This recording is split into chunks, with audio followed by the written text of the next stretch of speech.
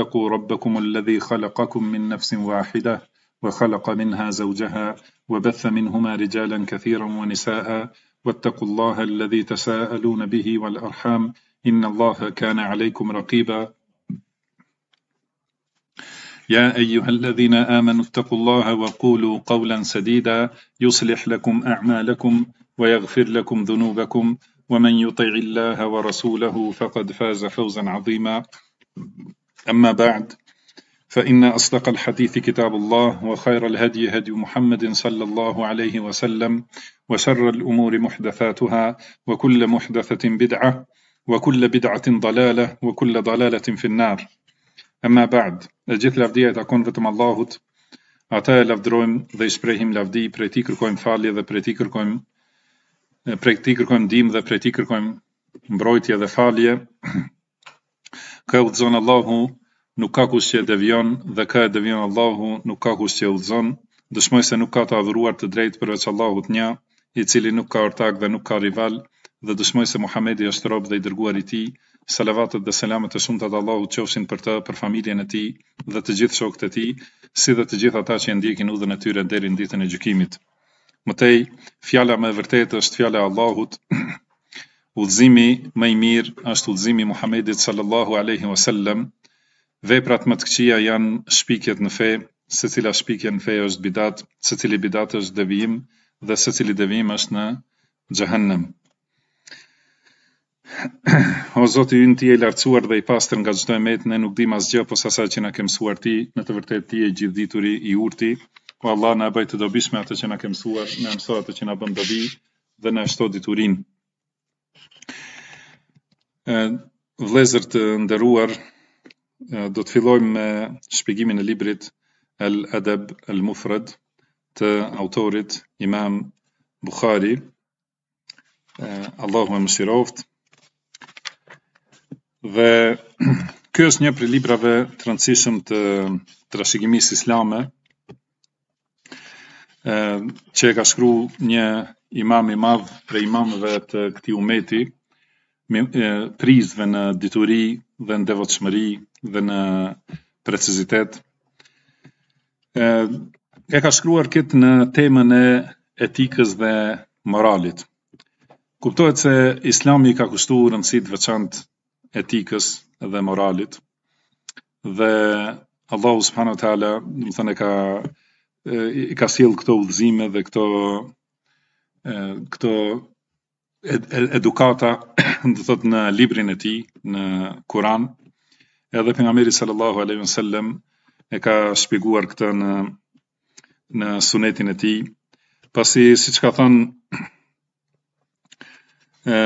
si siç përmendet në hadith nga Abdullah ibn Mas'ud radhiyallahu anhu se ka thënë pejgamberi sallallahu alaihi wasallam inna hadha al-Qur'ana ma'dabatu Allahi fil ardh Domethënë, ky Kur'an është gostia e Allahut në tokë. Domethënë, Allahu e ka zbritur këta dhe i ka ftu njerëzit që të marrin prej tij. Dhe Allahu i lartësuar e ka dërgu, domethënë, bashkë me Kur'anin pejgamberin sallallahu aleyhi vësallem që ta shpjegojë ata. Dhe pejgamberi sallallahu aleyhi vësallem e ka shpjegu Kur'anin në mënyrën më të plotë me fjalët dhe me veprat e tij. Do të thotë e ka e ka përkthyer atë që është në Kur'an në praktikë dhe ka treguar kuptimin e saktë në në sunetin e tij. Dhe siç ka thënë Aisha radhiyallahu anha kur e kanë pyetur për moralin e pejgamberit sallallahu alaihi wasallam, ka thënë kana khuluquhu al-Qur'an. Domethënë morali i tij ishte Kur'ani. Do thotë atë që e gjenin Kur'an prej urdhrave dhe ndalesave dhe udhëzimeve edhe edukatës, domethënë të gjitha e ka pas pejgamberi sallallahu aleyhi ve sellem në përditshmërinë e tij, në veprat e tij, dhe përmes jetës së tij do thotë, kuptohet Kurani në mënyrën, në mënyrën e saktë. Dhe përveç veprave gjithashtu ka edhe fjalë të shumta, të cil, me të cilat pejgamberi sallallahu alaihi wasallam na ka shpjeguar atë që është në librin e Allahut subhanahu wa taala. Dhe për këtë shkak meqë Allahu subhanahu wa taala ka thënë inna nahnu nazzalna dhikra wa inna lahu lahafizun, domethënë ne kemi zbritur Kur'anin dhe ne e mbrojmë atë e, ose e ruajmë atë, do të thotë ka qenë detyrë e, ose është, domethënë, hyn në garancën e dhe garantimin e Allahut subhanahu wa taala për ruajtjen e Kuranit, gjithashtu edhe ruajtja e sunetit të pejgamberit sallallahu alaihi wasallam. Pasi Kurani nuk ka mundësi të kuptohet ndryshe përveçse përmes sunetit të pejgamberit sallallahu alaihi wasallam. Dhe për këtë për këtë shkak Pra sahabët e kanë transmetu sunetin e pejgamberit sallallahu alaihi wasallam me precizitet dhe me dashuri dhe me xhelozi, do të thotë e kanë mbrojtur dhe e kanë transmetu në mënyrën e saktë. Dhe shembujt për kujdesin e sahabëve në transmetimin edhe të fjalëve të pejgamberit sallallahu alaihi wasallam, do thotë janë shembuj të shumtë dhe të çuditshëm. se sa shumë kanë qenë të kujdesshëm në transmetimin e secilës fjalë, duke u munduar që ta thonë saktësisht ashtu si e ka thënë pejgamberi sallallahu alejhi ve sellem, dhe ua kanë transmetuar tabiinëve. Pastaj tabiinët ua kanë transmetu të tjerëve pas tyre dhe kështu dietarët e mëdhenj të umetit i kanë mbledhur këto hadithe në librat e tyre. edhe i kanë, domethënë i kanë mbledhur në libra, pasi i kanë mbledhur në memorien e tyre dhe në kuptimin e tyre, i kanë shkru në libra që të mbeten dëshmi e përhershme deri në ditën e gjykimit. Dhe me këtë vlerë dhe me këtë dhunti Allahu subhanahu wa taala e ka veçuar këtë umet që nuk ekziston në asnjë umet tjetër kështu do thotë zinxhiri i transmetimit që është zinxhir i fuqishëm, edhe që është garancë e plotë, pasi e dimë secili çka ka thënë saktësisht dhe si ka transmetuar, derisa ka ardhur, domethënë, në kohën e regjistrimit nëpër libra. Dhe kanë shkru do thot në tema të ndryshme në bazat e fesë për akide, domethënë kanë mbledh libra me hadithe të pejgamberit sallallahu alejhi we sellem në akide, në ibadete, në marrëdhënie mes njerëzve, domethënë pastaj ligjet e hududet edhe kështu me radhë, domethënë edhe gjithashtu sistemi i udhëheqjes së shtetit, edhe hadithe për luftën, për gjithashtu për jetën e pejgamberit sallallahu alaihi wasallam dhe luftërat e tij, për vlerat e sahabeve, për veprat e vlefshme, për gëzime për të ardhmen ose paralajmërime për të ardhmen edhe gjithashtu për ahiretin e kështu me radhë. Dhe në gjithë pothuajse në secilin libër të sunetit, në secilin libër të hadithit ka tema të moralit dhe sjelljes. ose ose brenda haditheve ose në tema të veçanta. Domethënë edhe në librat e fikhut, edhe në librat e akides gjen, do thot, ose tema të veçanta me hadithe që flasin vetëm për moralin ose brenda temave të ndryshme, domethënë në hadithe të shumta. Dhe gjithashtu kanë shkru edhe libra të veçantë pra dijetarët e umetit kanë shkruar edhe libra të veçantë që flasin vetëm për moralin, domethënë për ta sqaruar këtë udhëzimin e Muhammedit sallallahu aleyhi wa sallam. I cili është i dërguar te njerëzimi, ka thënë pejgamberi sallallahu aleyhi wa sallam, innema buithtu li utemmime mekarim el akhlaq. Domethënë jam i dërguar që të që t'i plotësoj moralet fisnike, domethënë për ta rregullu moralin e e njerëzimit. Pasi siç dihet, Allahu subhanahu wa taala i ka krijuar krijesat që ta njohin Allahun dhe ta adhurojnë vetëm atë dhe gjithashtu ta zbatojnë drejtësinë, domethënë të kenë moral të lartë, të jenë të drejtë, të sinqertë, domethënë me çdo gjë që përfshin morali që të zbatohet drejtësia në tokë. Prandaj, do thot, dërgi, njëherë krijimi i krijesave është pra që të njihet Allahu me emrat dhe cilësitë e tij dhe me zotërimin e tij dhe që të adhurohet vetëm ai, të veçohet në uluhije, edhe që të e, zbatohet morali i drejtë dhe të, të ngrihet drejtësia në, në tokë. Dhe gjithashtu dërgimi i librave dhe dërgimi i pejgamberëve është po pikërisht për këto qëllime. Domethënë në, në librin e Allahut i gjejmë cilësitë e Allahut, edhe në sunetin e pejgamberit sallallahu alaihi wasallam gjithashtu, edhe gjejmë urdhrin për të adhuruar vetëm Allahun dhe ndalesën më të madhe për shirkun Edhe i gjejmë, domethënë këto, pra në një prej haditheve ka thënë pejgamberi sallallahu alejhi ve sellem, jam i dërguar vetëm që ta plotësoj moralin e lartë, moralin fisnik.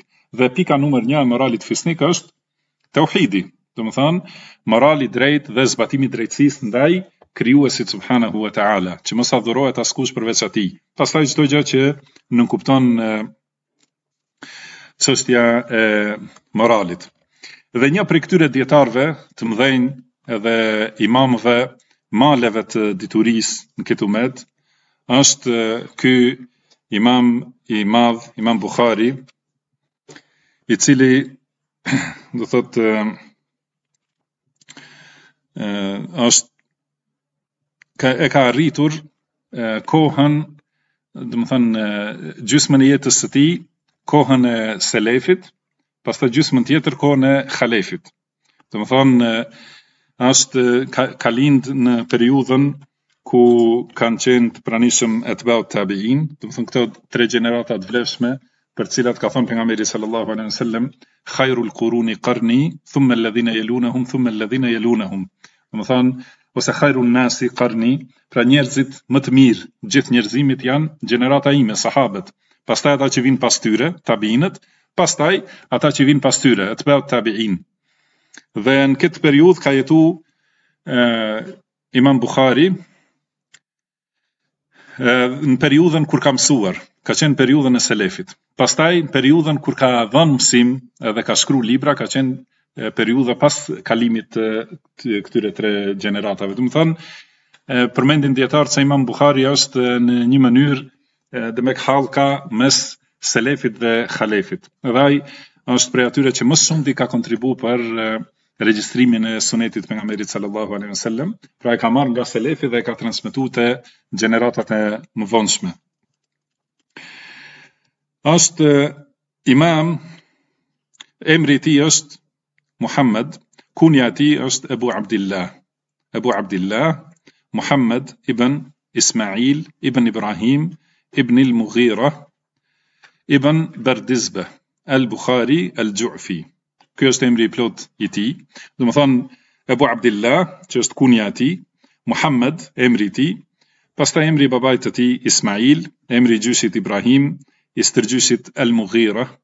i cili është i pari nga parardhësit e tij, domethënë që e kanë pranuar Islamin.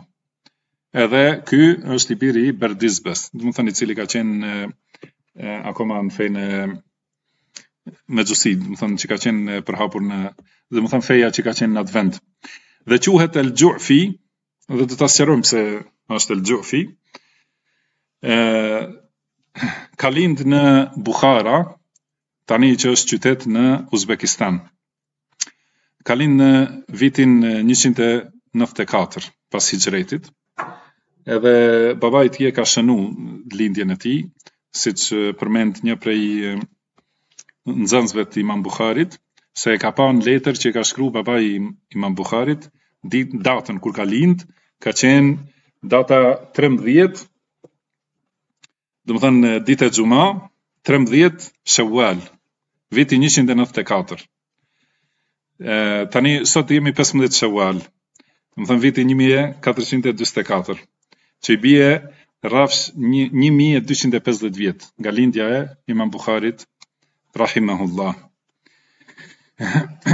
Edhe babai i tij ka qenë dijetar, i hadithit, Ismail ibn Ibrahim el-Xhufi, dhe ka qenë ka pas pasuri, domethënë ka qenë tregtar dhe është marrë me dituri, gjithashtu me, sidomos me diturinë e sunetit. ë e kanë përmend te transmetuesit e besueshëm për shembull Ibn Hibban e ka transmet, e, e ka përmendur në librin Eth-Thikat, domethënë transmetuesit e besueshëm. Edhe gjithashtu e ka përmend djali i tij, Muhammed ibn Ismail ibn Ibrahim, domethënë në librin e tij Et Tarihul Kebir. Imam Buhari ka libër Tarihul Kebir, historia, domethënë libri i madh i historisë, sepse ka tre libra që quhen histori, domethënë i madhi, aty përmendet edhe babai i tij si një prej transmetuesve të hadithit, sepse babai i tij ka transmetuar nga Hamad ibn Zejd, Hamad ibn Zejd dhe ka transmetuar nga Imam Malik ibn Enes. Dhe gjithashtu prej tij kanë transmetuar dijetarët e Irakut, domethënë prej babait të Imam Buharit. Edhe gjithashtu ka ka përmendur vetë Imam Buhari se babai i tij është taku me Abdullah ibn Mubarak, ka fol me të. Ë, domethënë Abdullah ibn Mubarak ka ka vdek në vitin 182 të Hixhretit. Dhe po ashtu thotë ka transmetu nga Imam Maliku, i cili ka vdek në vitin 179. Që domethënë se e, transmetimi i babait të Buhariut nga Maliku dhe Hamad ibn Zeid ka qenë, domethënë kur kur ka shku në haxh, Edhe kjo ka qenë përafërsisht në vitin njëqind e shtatëdhjetë e nëntë ose më përpara. Domethënë në vitin njëqind e shtatëdhjetë e nëntë Hixhretit, kur ka shku në haxh babai i tij edhe e ka vizitu Medinën, ka taku Imam Malikun, edhe në gjatë kthimit, domethënë është ka kalu nëpër Irak, edhe në vendet që quhen në, në librat e historisë, që i përmendin, domethënë, nga koha e selefit, quhet vendet prapa lumit. Domethënë, se deri te lumi Eufrat, janë arabë, do thotë, që kanë jetu, pastaj pas lumit persianë edhe popujt tjerë, që me një emër, gjithë joarabët i quajnë turk, Domethënë, shumës, pra emër që ka kuptim të shumësit, turk, domethënë, jo arab. Që ka, prapa lumit, do thotë pas Eufratit, ka transmetu, domethënë, dhe dituria është përhapur në mënyrë të mrekullueshme në gjitha vendet e botës, dhe historia se si e kanë pranu islamin, domethënë është nga udhëtimi i sahabeve në ato, në ato vende, edhe udhëtimi i tabiinëve gjithashtu. Pra, por përpara se të arrijmë aty, domethënë të përmendim, kjo ishte historia shkurt për babain e imam Buharit, Ismail, kurse babai i tij, domethënë gjyshi i imam Buharit, Ibrahim ibn el-Mugira, Nuk përmendet, domethënë, në lidhje me transmetimin prej tij. Kurse El Mugira, që është stërgjyshi i Imam Buharit, është i pari që e ka pranu Islamin, domethënë nga familja e tij. Dhe e ka pranu Islamin përmes një disa njerëzve, domethënë që kanë banu në Buhara me prejardhje nga Jemeni, nga fisi Xhufi. Edhe ky personi që e ka thirrë në Islam e ka pas emrin Jeman ose El Jeman.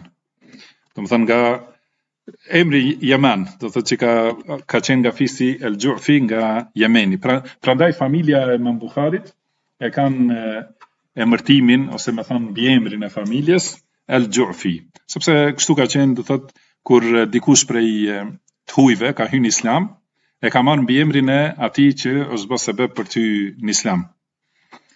Ky El Yaman El Ju'fi, do thot, ë është një prej parardhësve ose gjyshërve të dijetarit t'madh Abdullah ibn Muhammed ibn Abdillah ibn Ja'far ibn al-Yaman al-Musnadi al-Ju'fi. Dhe kjo ky fis, kjo familje Ju'fi, domethënë ka shpërblim të madh inshallah për thirrjen në fenë e Allahut në Bukhara, edhe në vendet e shumta matanë lumit, domethënë. Sidomos Në kohën kur ka qenë vali i atyre vendeve Seid ibn Xhafar al-Ju'fi, domethënë ka qenë vali i Khurasanit, edhe në atë kohë kanë hy në Islam, domethënë njerëz të shumtë. Kjo kabile ose ky fis i Jemenit, domethënë e merr prejardhjen nga Ju'fa ibn Sa'd, nga fisi Mudhij, Dhe Mudhij, domethënë është vla i një tjetër personi që quhet Tajji, ose Taj, i, i cili është gjyshi i Hatim. Domethënë, nëse keni dëgju Hatim et-Tai, që ka qenë i njohur për bujarinë e tij, dhe djali i tij, Adi ibn Hatim, ka qenë, do thotë sahabi, që e ka shoqëru pejgamberin sallallahu alaihi wasallam. Domethënë ky Mudhij edhe Taj kanë qenë vëllezër dhe tjetri vëlla ka qenë Ash'ar. Ash'ar. Domethënë prej tij e kanë prejardhjen kush Ash'ari. Do thotë prej cilëve është Abu Musa al-Ash'ari radiyallahu anhum ajma'in. Do thotë këta janë nga Jemeni, këto tri familje ose tre fise. Dhe pikrisht fisi Xhufa ose Xhufi, domethënë kanë qenë shumë që përmes tyre kanë pra, thot shumë prej turqve kanë hyrë në islam, domethënë shumë prej arabëve me me shumicë kanë hyrë në islam përmes davetit të këtyre. Edhe kjo tregon Prandaj shumë prej atyre që janë jo arabë e kanë mbiemrin Xhufi, domethënë për shkak të kësaj që e thamë më herët, edhe krenohen me këtë me këtë atribuim, domethënë të Xhufës edhe Mudhhixh, gjithashtu. pra kjo pjesë e madhe e botës kanë pranu islamin nga kjo familje ose nga ky fis, dhe kjo tregon prandaj historia është shumë me rëndësi që ta kuptojmë dhe ta dimë, tregon se cila është mënyra me të cilën është përhap islami. Pra nuk përhapet islami asnjëherë me dhunë, edhe kemi thënë shumë herë, nuk lejohet, i muslimanit nuk e nuk i lejohet që ta bëjë dikën musliman me dhunë, por vetëm me argumentim dhe me bindje. Edhe prandaj argument është vetë ekzistimi i këtyre njerëzve. Shikoni tani familja e Imam Buharit. Si mendoni nëse ishin kishin qenë këta me dhunë të futur në islam, a do të kishin qenë kështu shërbëtorë të islamit që janë interesuar për mësimin e sunetit edhe transmetimin e sunetit si Ismaili, si Muhamed ibn Ismail, domethënë që janë prej dijetarëve transmetues të sunetit të pejgamberit sallallahu alejhi ve selem. Pra Mos ta harrojmë se Imam Buhari ka lindur në vitin njëqind e nëntëdhjetë e katër, edhe kjo është historia si e ka pranuar Islamin familja e tij, ka qenë, domethënë ka jetuar në, ka lindur dhe në rininë e tij ka jetuar në Buhara. Ka qenë fëmijë, domethënë i çuditshëm për nga memoria dhe zgjuarësia. Edhe ka thënë që ka mësu në atë kohë, pra shikoni, domethënë përpara 1250 vjetëve. Ka pas sistem arsimor te muslimanët, domethënë në atë periudhë. Edhe shkalla e parë e arsimit ka qenë kuttab, i kanë thënë ose ketatib, që ne e përdorim fjalën mekteb, mektebe, do thotë ku kanë pranu, ku, ku e kanë mësu fillimin, fëmijët. Zakonisht, ndoshta kanë hy nga mosha tre vjeçare në këto ketatib, edhe pastaj pas mbarimit të këtyre janë transferu në mësimet e xhamive, Edhe prandaj xhamia është kuptimi i universitetit, domethënë në atë periudhë. Tani këta që krenohen me universitete më të vjetra e kështu me radhë, duhet ta kuptojnë se secila xhami në vend në botën islame, edhe në vendet arabe, edhe në vendet jo arabe, secila xhami ka qenë universitet. Domethënë këta Imam Buhari deri në moshën 10 vjeçare ka mësuar në Mekteb. Edhe në mekteb, domethënë në këtë kohë, derisa ka mbush 10 vjet, ka mësu numër shumë të madh të haditheve. Mirëpo ka qenë aq shumë i interesum që nuk e ka mësu vetëm hadithin, e, dhe kur themi hadith, është për qëllim zinxiri. Domethënë, na ka tregu filani, filani, deri te pejgamberi sallallahu alejhi ve sellem. Dhe nuk e ka mësu vetëm përmendsh zinxirin, po është interesu për njohjen e secilit transmetues. Domethënë e ka ditë, emrin e saktë, kohën kur ka jetu, vendin ku ka jetu, nga kush ka transmetu dhe kush ka transmetu prej tij. Prandaj, përmendet se pasi ka mbaru mektebin, domethënë, në moshën 10 vjeçare, ka fillu me prezentu në mësimet e një prej dijetarëve të atij vendit të asaj kohe, ed-Dakhili, edhe të tjerë, edhe thot imam Bukhari se një ditë ky Dakhili, duke lexu hadithe, ose domethënë, mësimet kanë qenë diktim, domethënë, Ata dijetarët që kanë mësu, përmendsh u kanë diktu nxënësve, i kanë shkru hadithet edhe kështu. Në atë periudhë ka fillu shkrimi i librave të hadithit me të madhe, domethënë, jo se nuk është shkru ma herët, është shkruar në kohën e sahabëve, në kohën e pejgamberit sallallahu alaihi sallam, domethënë sahabët kanë shkru hadithe, pastaj në kohën e tabiinëve dhe etba tabiinëve, edhe në kohën e këtyre, domethënë, janë shkru libra të shumtë, ma shumë, Dhe kur ka qenë duke transmetu ka thënë Rawa Sufjan an Abi Zubair an Ibrahim. Pra Dakhili ka thënë ka transmetuar Sufjan Sufjani nga Abu Zubair, nga Ibrahimi, domethënë nga Ibrahim an-Nakhai. Edhe Imam Buhari i ka thënë atij Ebu Zubeir nuk nuk nuk prej Ebu Zubeirit nuk transmeton Ibrahim an-Nakhai. Edhe ai e ka qortu, domethënë ky ka qenë fëmijë, edhe i ka thënë Ebu Zubeir nuk transmeton nga Ibrahim an-Nakhai. Ai e ka qortu dhe i ka thënë Imam Buhari, kthehu te libri ku e ke shënu, nëse nëse ke, domethënë që e ke shënu këtë hadith kur e ke mësu. Dhe ai ka hy në dhomën e tij, pastaj është kthy dhe i ka thënë si është o djalosh, domethënë si është e sakta, e ka pa që domethënë ajo që ka qenë e saktë ka qenë fjala e Imam Buharit. Ka thënë Imam Buhari Ai e ka emrin Zubeir, jo Ebu Zubeir, po Zubeir, i cili është Ibn Adi, Zubeir Ibn Adi. Ai ka transmetu nga Ibrahim an-Nakhai. Edhe e ka marrë hoxha, domethënë mësuesi ose profesori, e ka marrë lapsin dhe e ka bë përmirësimin në libër, domethënë e ka korrigju dhe ka thënë sadakte, domethënë e vërtetë. e vërtet është dhe m'u ka ashtu si the ti. Pra kjo është me, me këtë moral është transmitu dituria, thot me modesti dhe me sinqeritet, për fenë e Allahut, jo me kokëfortësi edhe me këmbëngulje në gabim. Domethënë, por, kur dikush korrigjon me saktësi, Thotë janë kthy edhe e kanë pranu të vërtetën, pa marrë parasysh kush e ka thënë. Dhe thotë një njeri e ka pyet Imam Buharin, sa vjeçar ke qenë atëherë? Ka thënë 11 vjet, 11 vjeç, domethënë në, në këtë rast.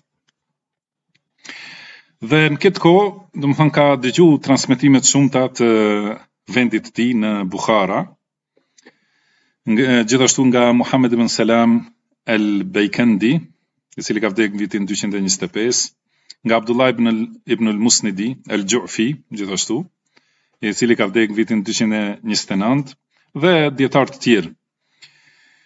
Ka thënë Imam Buhari kur mbusha, domethënë përpara se të mbush 16 vjet, i i kam ditë përmendsh librat e Abdullah ibn Mubarak. domethënë moshën 16 vjeçare. Abdullah ibn Mubarak ka, vet, ka vdekur në vitin 182. I kam ditur, domethënë, librat e Abdullah ibn Mubarak dhe Waki ibn al-Jarrah. Dhe i kam ditë fjalët e këtyre, domethënë, fukahave. Dhe thotë kur ka pas 16 vjet. Atëherë, në këtë periudhë, pra në vitin 210, dyqind e dhjetë kur ka mbush gjashtëmbëdhjetë vjet është nis për në haxh për Mekë me nënën e tij dhe me vllajën e tij më të vogël që e ka pas emrin Ahmed. Edhe në këtë udhtim, domethënë ka pas sasi të çuditshme të diturisë, Ka pas shumë dituri, edhe shumë hadithe përmendsh, edhe edhe kuptim të hadithit, edhe domethënë mendje precize kështu me radhë. Kështu që gjatë udhëtimit në secilin vend që kanë qëndru, ka mësu prej dijetarëve të atij vendi, dhe thot duke shku për meke, ka mësu në Belkh, gjithashtu nga Mekki ibn Ibrahim al-Belkhi, që ka vdekë vitin 215, në Basra ka mësu nga Ebu Asim, Amr ibn Asim et-Tejmi, që ka vdekë vitin 213, nga Muhammed ibn Abdillah al-Muthanna al-Ansari, që ka vdekë vitin 215, në Kufe ka mësu nga, Ubed, nga Ubedullah ibn Musa al-Absi,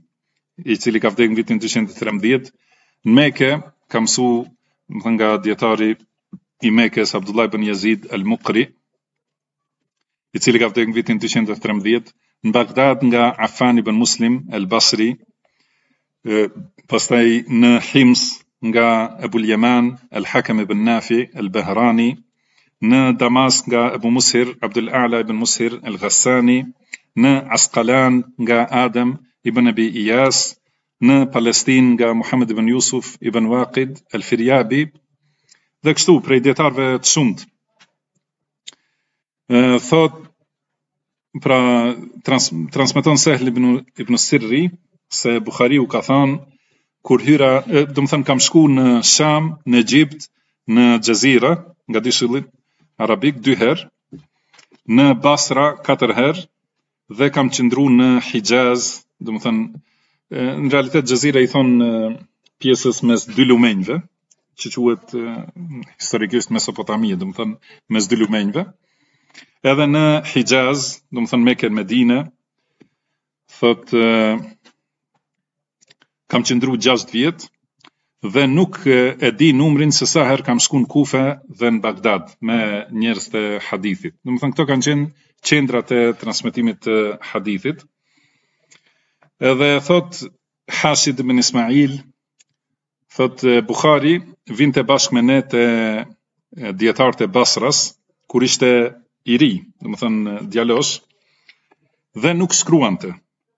Atëherë pas kalimit të disa ditëve, kur u bënë 16 ditë, dikush i tha atij, domethënë pse ti Domethënë e kanë qortu, pse nuk shkruan? Pra merr pjesë në mësime dhe nuk shkruan. Nuk ka qenë kjo tradita e selefit tonë. Domethënë duhet me me shkrujt. E kanë qortu, ka thënë Imam Buhari, më tregoni çka keni shkruar ju.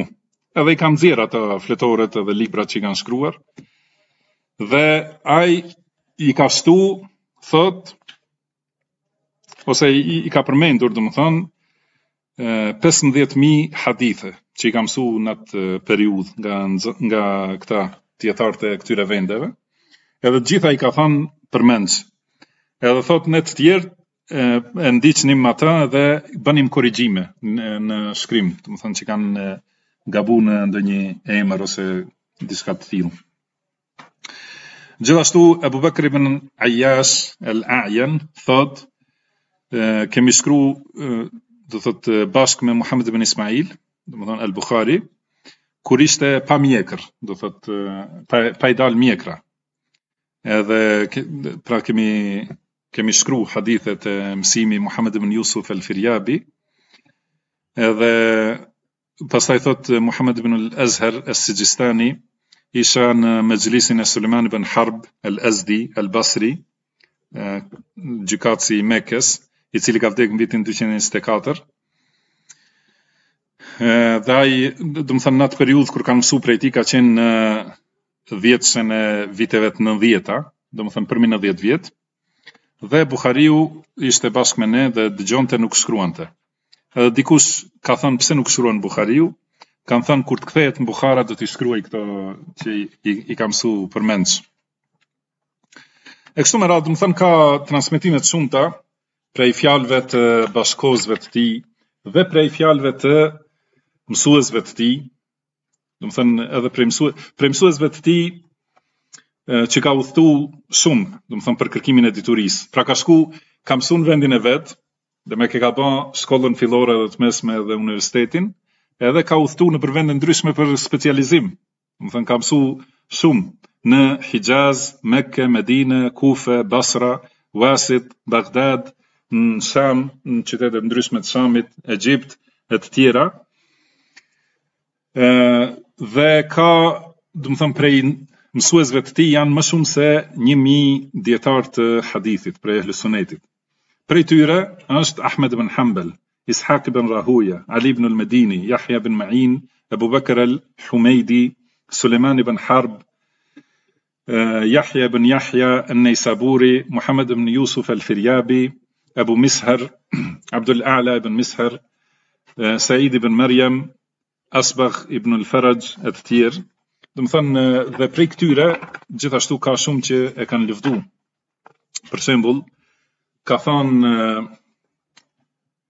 Ka thënë Imam Ahmed, Khurasani nuk ka nxjerr njeri si Muhammed ibn Ismail, domethënë në dituri dhe në mendjeprehtësi.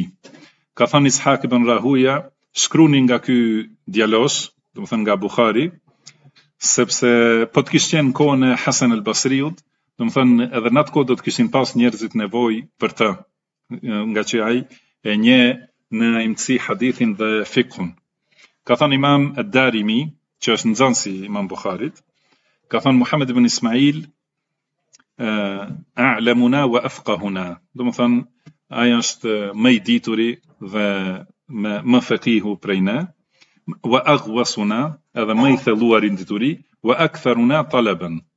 edhe që më së shumti ka kërku dituri.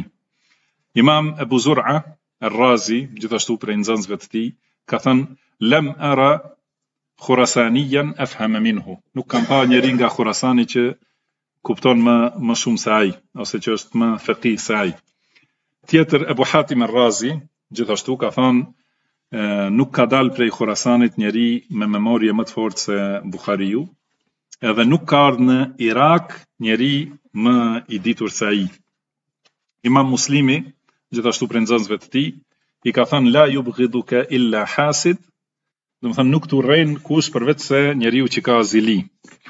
Edhe për këtë ka një ndodhi, Ë një herë kanë qenë thot Imam Muslimi, se ka qenë në mësim te Imam Buhariu. Ë dhe në në Neisabur. Dhe e ka pyet Imam Muslimi për një hadith dhe Buhariu e ka përmendur të plot. Edhe Thotë pastaj kur mbaroi, një njeri ka thanë na ka treguar Haxhaxh ibn Muhammed nga ibn Xhurejx nga Musa ibn Ukbeh nga Suhejl ibn Ebi Salih ai nga i ati i tij nga Ebu Hurejra radhijallahu anhu se pejgamberi sallallahu alejhi ve sellem ka thanë keffaretul mexhlis idha qamel abdu en jekul domethënë pastrimi gabimeve të Mexhlisit që në vendin ku ka qëndruar njeriu, domethënë i vin mendime të gabuara ose mund ta thotë ndonjë fjalë të gabuar ose kështu me radhë. Dhe si e pastron kët, domethënë atë Mexhlis që ka qenë, përpara se të ngrihet thotë subhanakallahumma wa bihamdik, ashhadu an la ilaha illa anta astaghfiruka wa atubu ilaik. Edhe ka thënë Imam Muslimi, A ka në dunja hadith më më të bukur se ky? Pra Ibn Xhurejx nga Musa ibn Ukbe nga Suhejl ibn Ebi Salih. A njeh ndonjë sened më të bukur se ky, domethënë shumë sened i fortë. Ka thënë Muhamed ibn Ismail, El Bukhari, ka dobësi ky sened.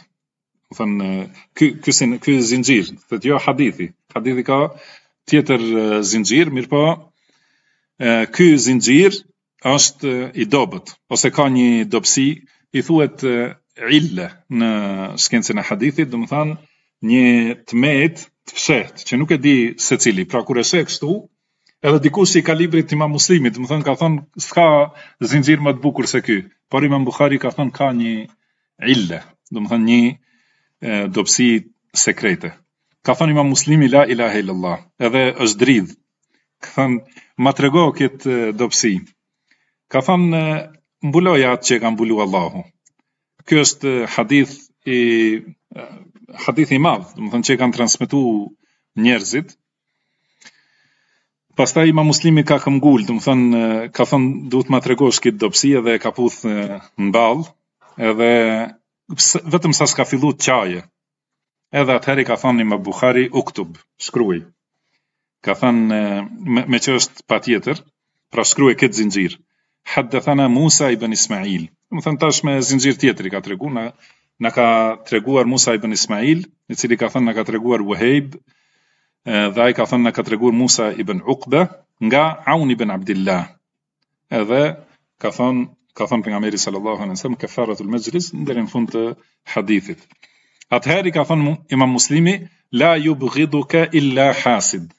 Domethënë ty nuk të urren kush përveç njeriut që ka zili. Edhe ka thënë wa ashhadu annahu laysa fi dunya mithluk. Edhe dëshmoj domethënë se nuk ka në botë dietar si ti. Ë Pastaj, domethënë kjo ka qenë në përgjithësi jeta e Imam Buharit, edhe vetëm të përmendim disa prej nxënësve të tij. Është prej nxënësve të tij Muslim ibn Hajjaj, an-Nesaburi, Muhammed ibn Isa et-Tirmidhi, nxënësi më i madh i Imam Buharit ose më i njohuri, domethënë, Muhammed ibn Isa et-Tirmidhi, rahimahullah. Gjithashtu Ibrahim al-Harbi, Abu Hatim dhe Abu Zur'a, Ar-Razi, të dy, domethënë Abu Hatim al-Razi dhe Abu Zur'a al-Razi, Ibn Khuzaimah, Ibn Jarir al-Tabari, Yahya ibn Sa'id al Allahu musta'an. Do thotë mjafton vetëm me përmend emrat e nxënësve të tij, do thotë për me kuptu madhështinë e këtij njeriu rahimahullah. Ka shkru Imam Bukhari libra të shumtë, domethënë libra edhe vetëm ta përmendim vdekjen në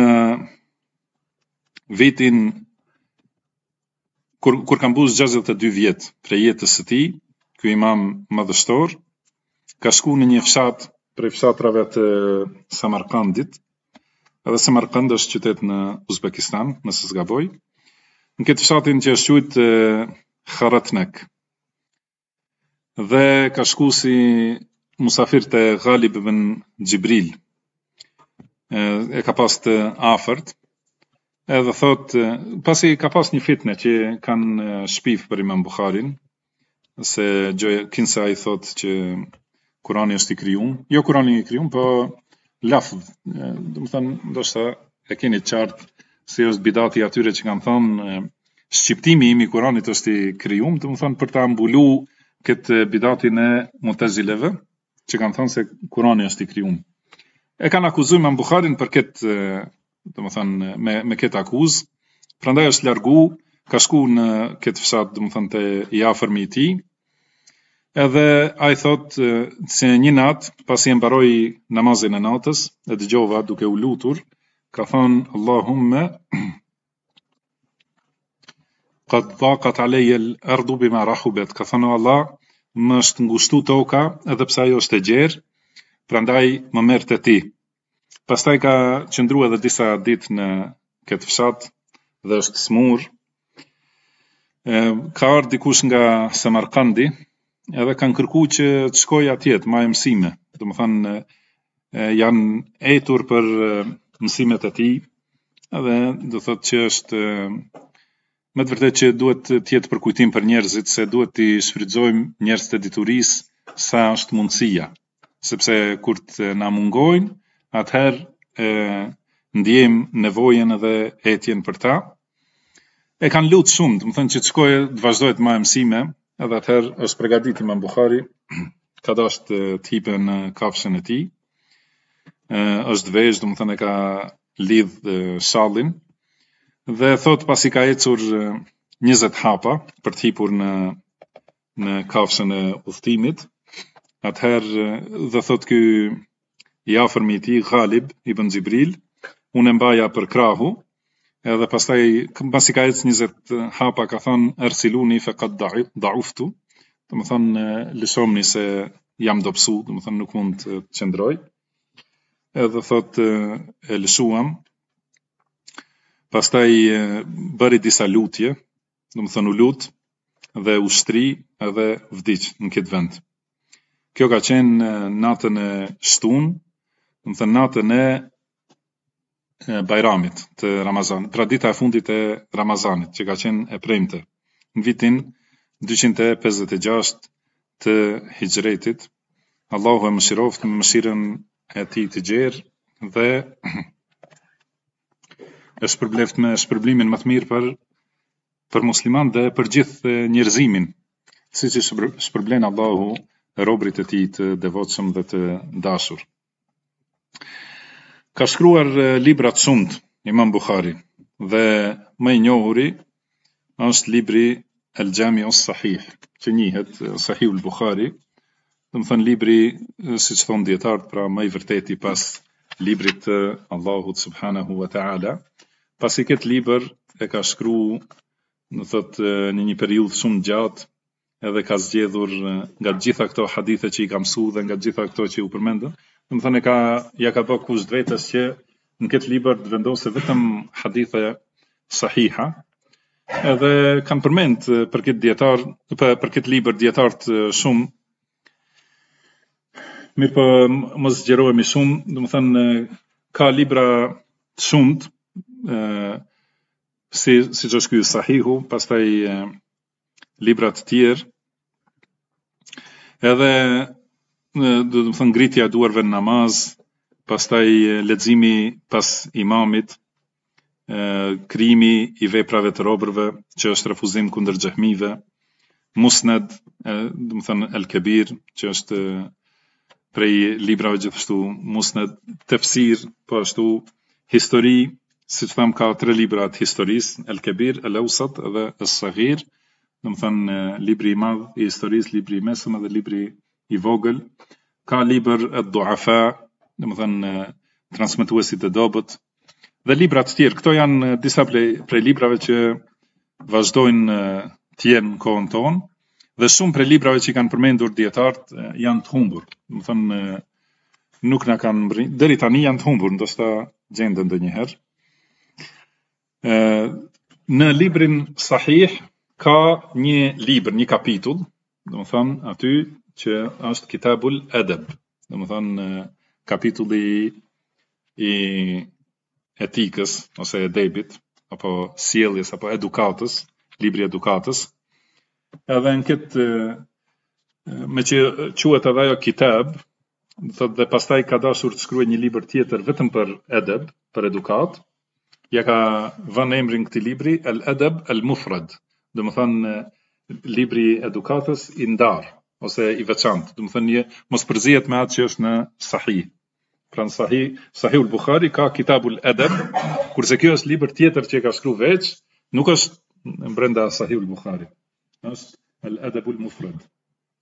Edhe këtu ka shumë më shumë hadithe se në atë librin El Edeb në Sahihul Bukhari. Pra aty thotë se ka 256 hadithe në atë të Sahihul Bukhari në Kitabul Edeb, kurse në këtë libër ka 1322 hadithe. Edhe prej tyre Janë sahih nëntëqind e nëntëdhjetë e katër, kurse njëqind se bie domethënë tjerat janë me dobësi. Pra shumica e haditheve që janë në librin El Adab El Mufrad janë në nivelin e haditheve që janë në sahih, domethënë janë Sahih Buhari dhe Muslim. prej haditheve më të sakta, disa të tjera janë si nivelin e Sahihul Muslim ose më të dobëta. Domethënë sahih që janë më pas se kategoria e Sahih Muslim ose hadithe që janë hasan e kështu me radhë, dhe ka disa hadithe që janë të dobëta. Për këtë shkak dijetarët kanë shkru, domethënë edhe për shkak të vlerës së këtij libri, dijetarët kanë kanë bërë shërbime, mirëpo, shumë prej dijetarëve kanë përmendur se nuk i është dhanë haku këtij libri. Dhe ky libër kaq i vlefshëm, El Edebul Mufred, pak janë marrë muslimanët me të. Domethënë se ka nevojë shumë ma shumë të angazhohemi me këtë libër, siç ka thënë për shembull Abdurrahman el Muallimi, ka thënë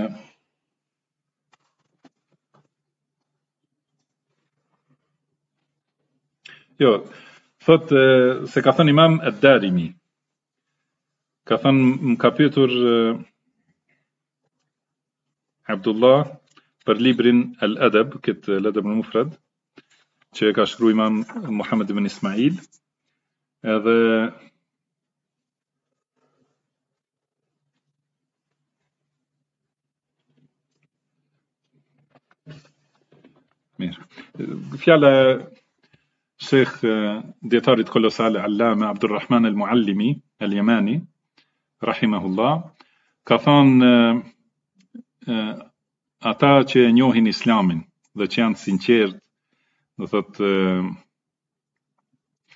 që janë sinqertë dhe dashamirë për Islamin dhe muslimanët dhe që i njohin këto dobësi në të cilat kanë ra muslimanët e dinë se është për shkak se janë larguar nga realiteti i Islamit.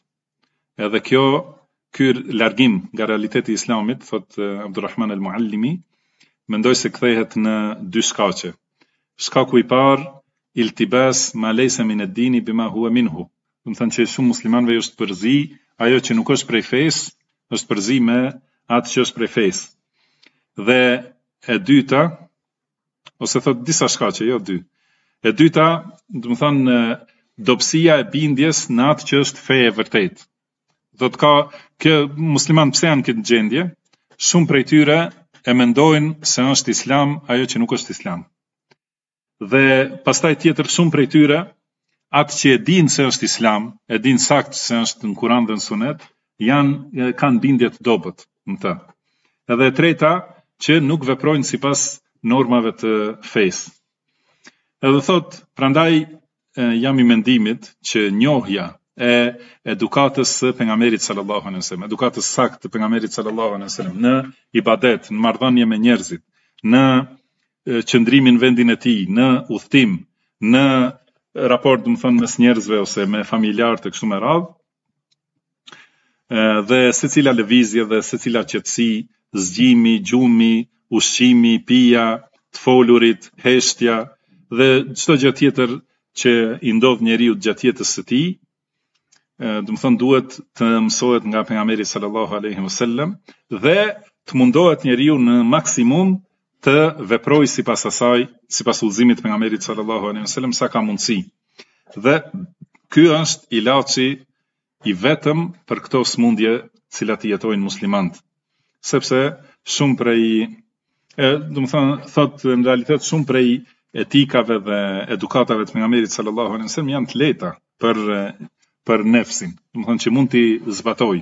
Prandaj, nëse njeriu punon me atë që është e lehtë, atëherë duke duke u largu nga ajo që e kundërshton etikën e pejgamberit sallallahu alaihi wasallam, atëherë në dashtë Allahu i lartësuar do t'ia mundësojë atij që ta dëshirojë edhe më shumë etikën e Pejgamberit sallallahu alejhi ve sellem dhe do t'i lehtësohen edhe ato që i duken të vështira.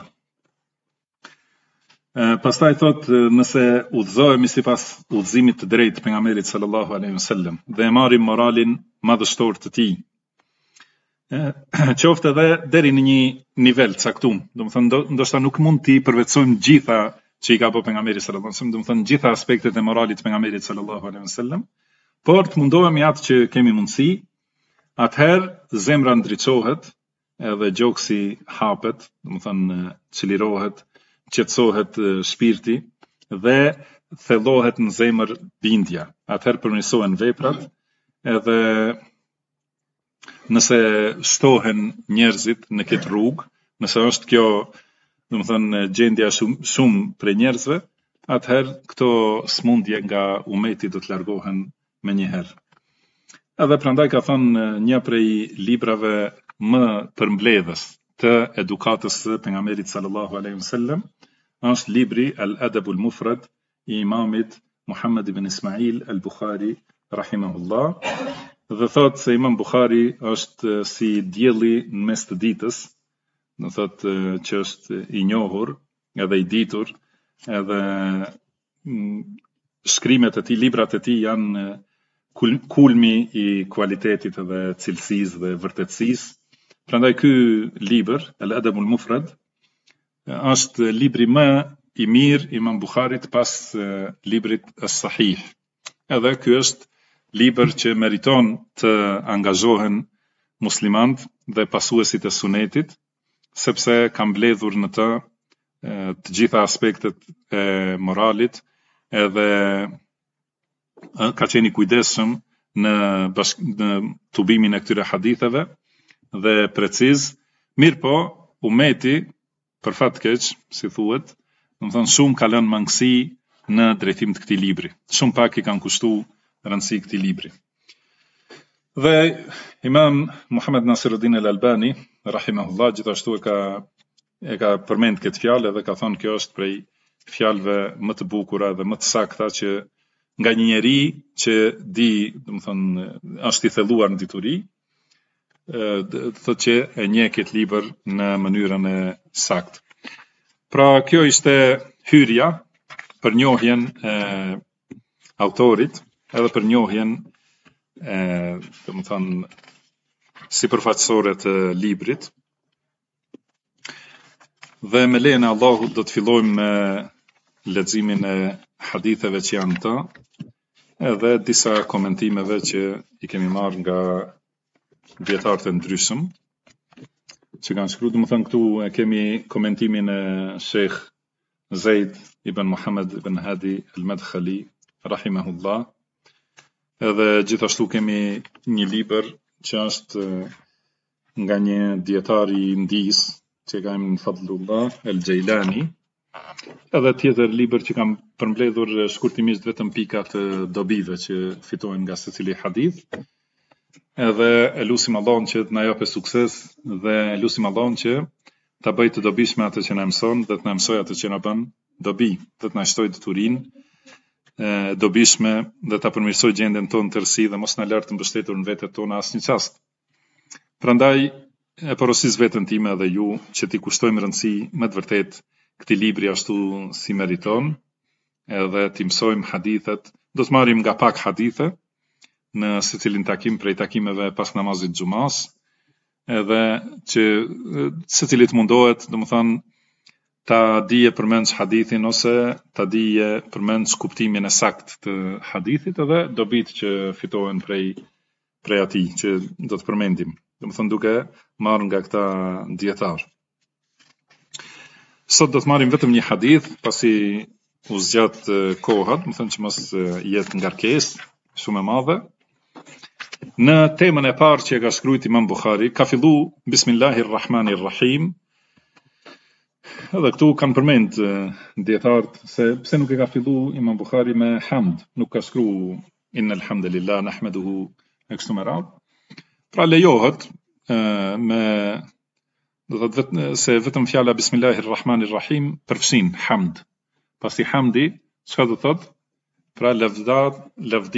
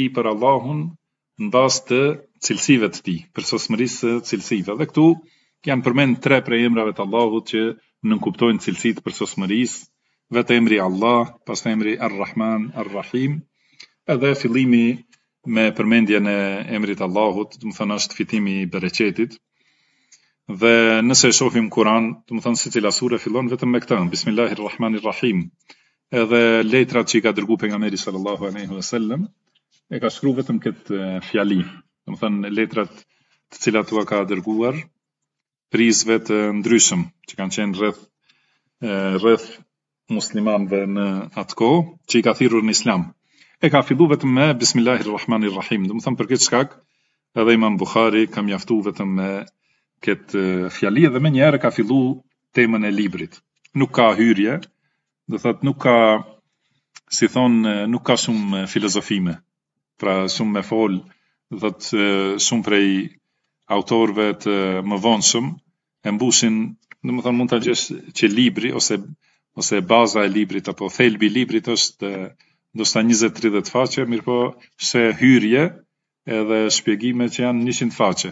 Domethënë që vetëm filozofi e dobët.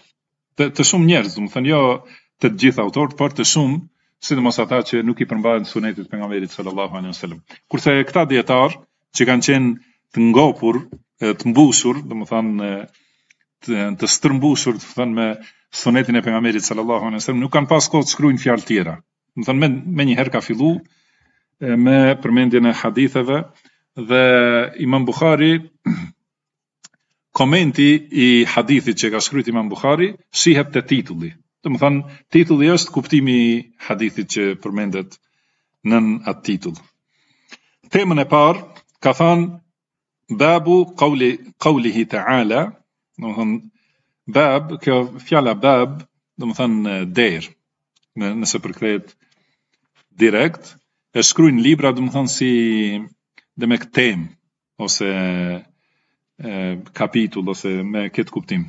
Pra mund të thuhet babu qawlihi ta'ala, pra tema e fjalës së Allahut ose babun edhe dy pika qawluhu ta'ala. Domethënë temë dy pika edhe përmendet emri i temës. Tema këtu është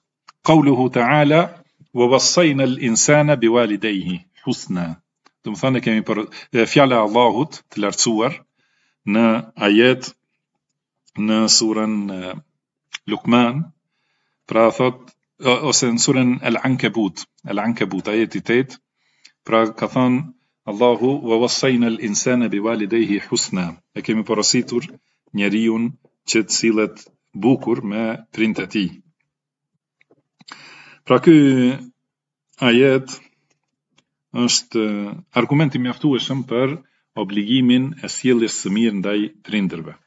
Dhe sjellja e mirë ndaj prindërve do të thotë që njeriu të jetë domethënë të jetë i bindur ndaj urdhrave dhe ndalesave të prindve për atë që është sipas të mirës, domethënë sipas ligjeve të Allahut.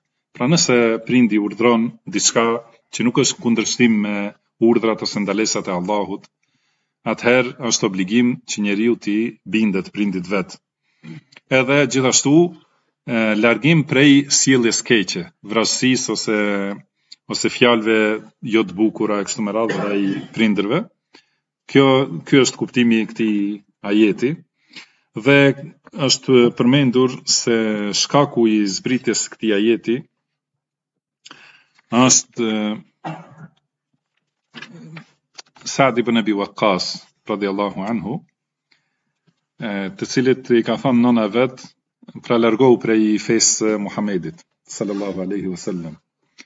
Edhe i ka thënë se Allahu ka porositur që ti domethënë t'i dëgjoni prindërit ose të jeni të bindur ndaj prindërve, edhe ka thënë unë jam prindi jot edhe të urdhëroj që të largohesh nga feja e Muhamedit sallallahu alaihi wasallam. Dhe Sa'd ibn Abi Waqqas radhiyallahu anhu nuk e ka bërë këtë. Prandaj ka zbrit ky ajet wa wassayna al-insana bi walidayhi husna. Wa wassayna al-insana bi walidayhi. Domethënë e kemi porosit njeriun dhe porosia domethënë urdhër me këshillë. Urdhër me këshillë ose orientim ose drejtim. pra e kemi porosit njeriun që të sillet jo, kjo është prapë në surën Luqman. Domethënë se çdo herë më kujtohet ajeti i surës Lukman, po kjo është në surën Ankebut. Po, ka thënë wa wasayna al-insana biwalidayhi husnan, domethënë e kemi porosit njeriun që të sillet bukur, domethënë husnan, që përfshin çdo gjë të mirë, husnen, domethënë të sillet mirë dhe bukur ndaj prindërve të tij, wa in jahadake li tushrike bi ma lejse leke bihi ilmun fela tuti'huma. Por nëse të luftojnë që ti t'i bësh shirk Allahut, atë për të cilën nuk ke dituri, domethënë nuk ka zbrit Allahu ndonjë dituri ose ndonjë argument për t'i bërë shirk atij, atëherë fela tuti'huma, mos iu bind atyre.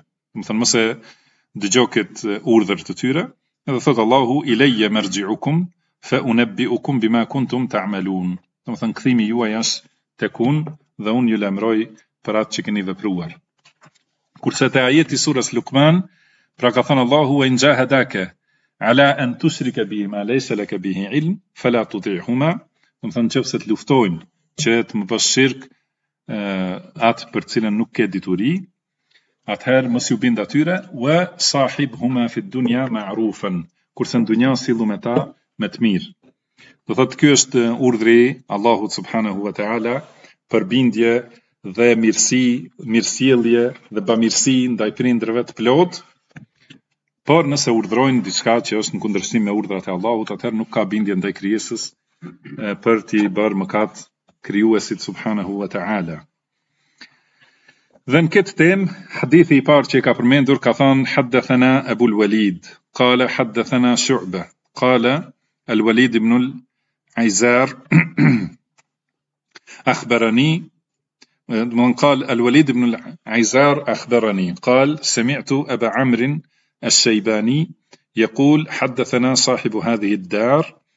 Wa awma'a bi yadihi ila dari Abdillah.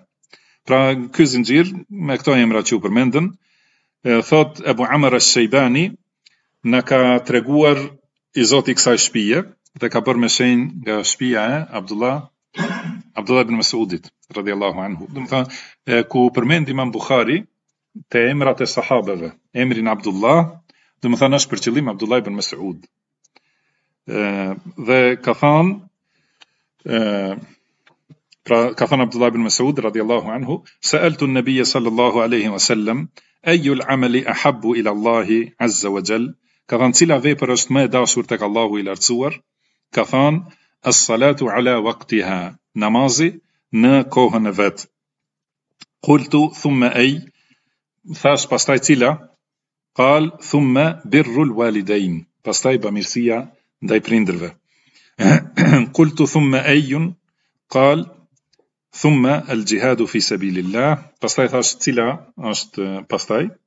ka thënë xhihadi në rrugën e Allahut.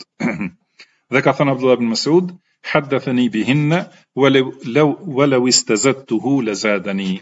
Domethënë këto m'i ka treguar pejgamberi sallallahu alaihi wasallam dhe sikur t'i kish t'i kisha kërku akoma do të më kishte dhënë edhe më shumë.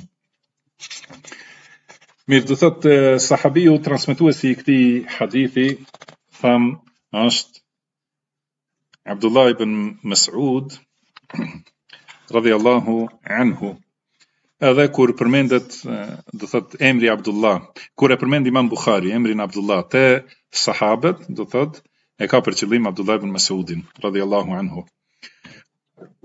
Abdullah ibn Mes'udi është një prej muslimanëve të parë pararendës që ka pranu Islamin shumë herët nga pejgamberi sallallahu alaihi wasallam Dhe ai ka qenë që e ka shërby pejgamberin sallallahu alaihi wasallam dhe i ka bart këpucët e tij dhe enën për t'u pastru për avdes. Abdullah ibn Mesudi është mësuesi i umetit, domethënë ka marrë përmendet se ai ka mësu nga goja e pejgamberit sallallahu alaihi wasallam 70 sure, thuhet, kur Zejd ibn Thabit ishte fmi që lunte me fëmijët. Domethënë Zejd ibn Thabit, dietari i madh i umetit, edhe transmetuesi i Kuranit gjithashtu, lexuesi i madh. Pra Abdullah ibn Mesud është shumë më i madh se edhe se Zejd ibn Thabit. ë dhe gjithashtu e kanë përngjasu shumë me pejgamberin sallallahu alaihi wasallam.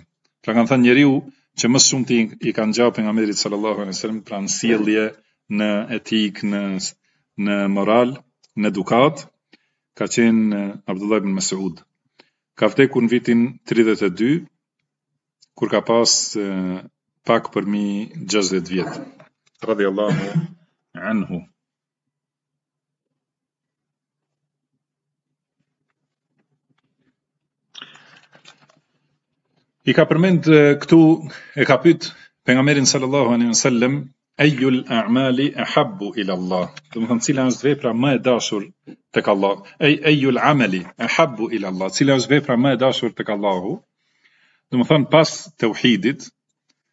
të që është esenca e të gjitha veprave dhe baza e fejs, pra cila është vepra e dukshme që të cilën e do më së shumti Allahu subhanahu wa taala.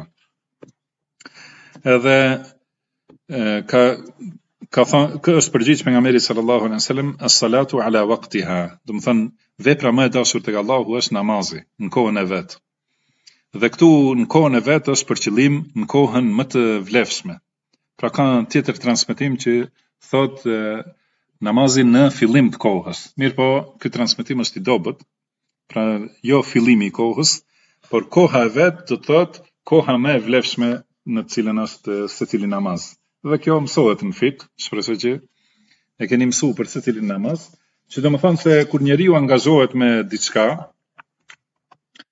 është do thot nuk e fal namazin në atë kohën më të vlefshme, po e fal brenda kohës vet, do thot nuk e ka bërë atë punën më të vlefshme dhe më të dashur tek Allahu.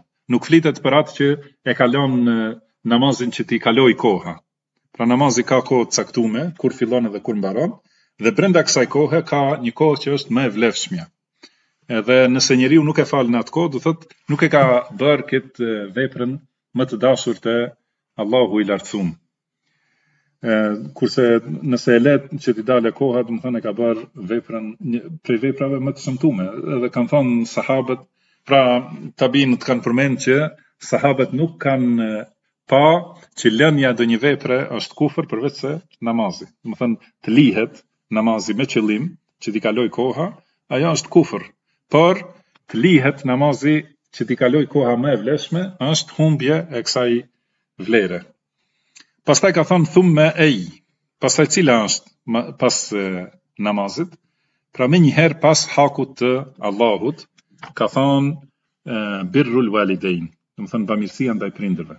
Namazi është haku i ibadetit ndaj Allahut subhanahu wa taala. Dhe menjëherë në vlerë dhe dashuri tek Allahu është vepra e bamirësisë ndaj prindërve.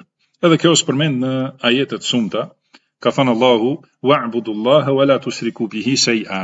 pra adhurojeni Allahun, adhurojeni Allahun dhe mos i bëni shirk atij asgjë, wa bil walidaini ihsanan, dhe me prindërit silluni mirë ose jini bamirës. Po ashtu ka thënë Allahu, wa wassayna al insana bi walidayhi ihsanan.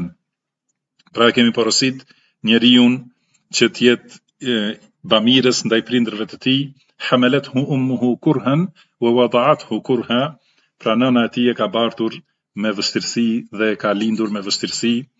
Gjithashtu ka thënë Allahu: "Wa wassayna al-insana biwalidayhi hamalathu ummuhu wahnan ala wahn", e kemi porosit njeriun që të sillet mirë me prindërit e tij dhe nëna e tij e ka bartur në dobësi mbi dobësi e kështu me radhë, domethënë në hadithe në ajete të shumta. Gjithashtu në hadith pejgamberi sallallahu alaihi wasallam urdhrin një prej urdhrave më të mëdha është do thot bamirësia ndaj prindërve që ka ba porosi të rëndësishme. Edhe siç është në këtë hadith, domethënë i ka vënë përparësi bamirësisë ndaj prindërve më shumë se xhihadit në rrugën e Allahut, më, më shumë se lufta në rrugën e Allahut.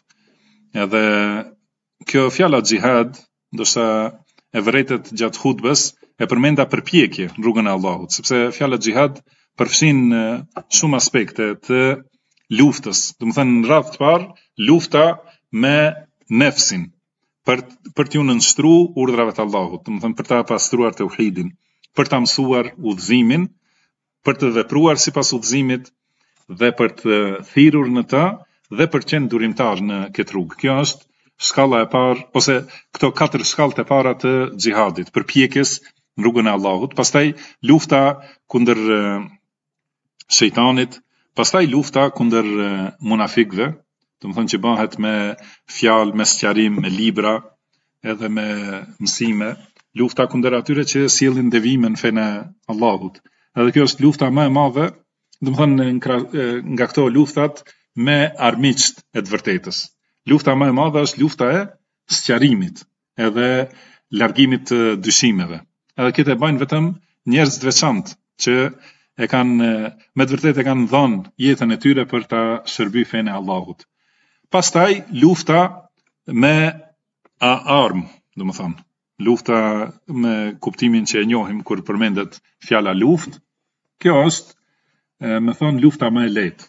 nëse njeriu i kalon këto tjerat. Domethënë është që dhe e bëjnë shumica e muslimanëve. Domethënë është nuk kërkon ndonjë specializim të veçantë.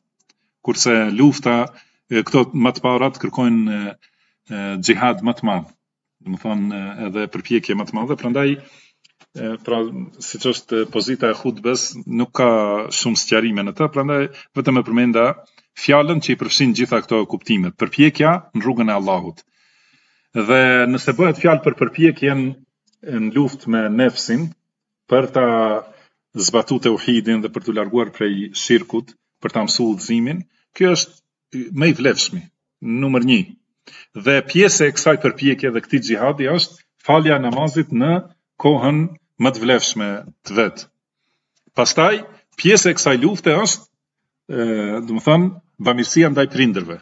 Dhe pastaj vjen lufta kundër mosbesimtarëve, domethënë pra në këtë hadith e ka përmendur këtë kuptim të xhihadit, luftën, domethënë shkallën e cila vjen me radhë, si i ka përmend Imam Ibn al-Qayyim, domethënë nuk i kanë shpik këto rebiovcat, po Ibn al-Qayyim i ka përmend këto gradë të xhihadit, sido qoftë, domethënë këtu sa i përket gradës së luftës, domethënë pjesëmarrjes në luftë, në betejë kundër mosbesimtarëve, kundër armiqve të Islamit, bamirësia ndaj prindërve është përmendur në këtë hadith si gradë më e lartë dhe vepër më e dashur tek Allahu i lartësuar. Edhe në hadith tjetër ku ka ardhur një njeri